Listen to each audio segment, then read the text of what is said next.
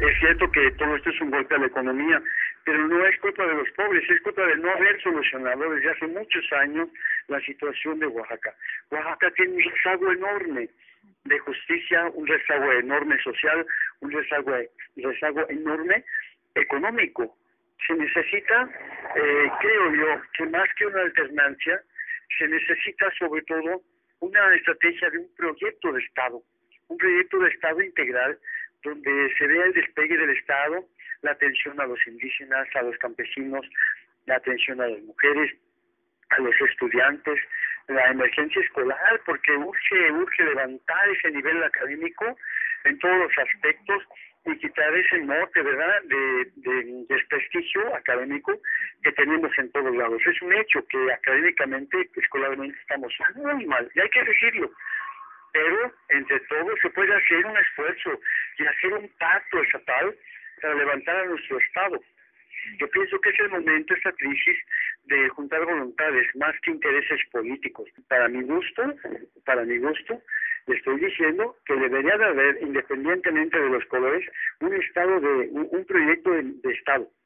¿Sí? No se ve claro, no se ve dónde está. Dos, debería de haber una, una decisión muy firme desde un principio para, para haber orientado el, el Estado hacia ese proyecto hacia la justicia, al desarrollo y, quitar muchas lacras que tenemos nosotros, eh, cargas, cargas políticas, mm, que, eh, inercias que han impedido de veras un avance de Oaxaca y que más bien han tomado a Oaxaca como un feudo, como una propiedad.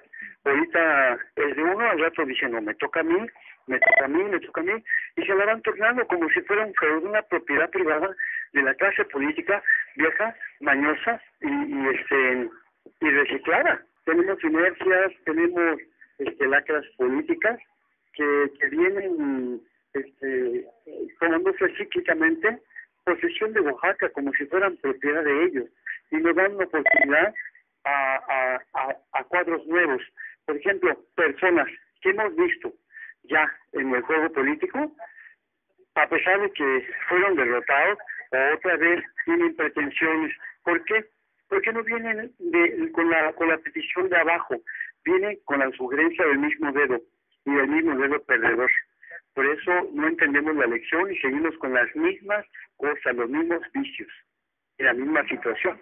Por eso Oaxaca no avanza. Si yo quisiera hacerles un llamado, pero no solo las autoridades, quisiera llamar la, la atención a todo el Estado este oaxaqueño, es decir, a los tres eh, niveles de gobierno, pero también a los tres poderes del Estado, para que juntos eh, haya un diálogo sincero, se dejen intereses, se dejen mañas políticas, se deje corrupción